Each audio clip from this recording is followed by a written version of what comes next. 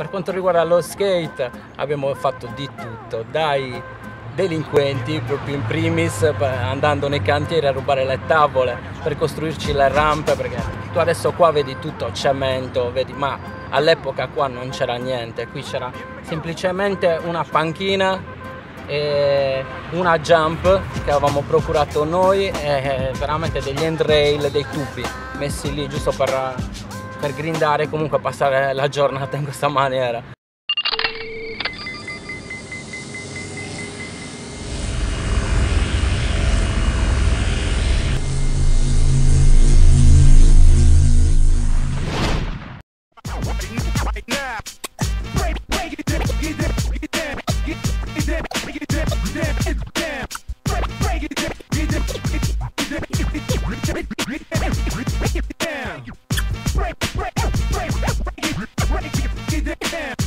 Take it down.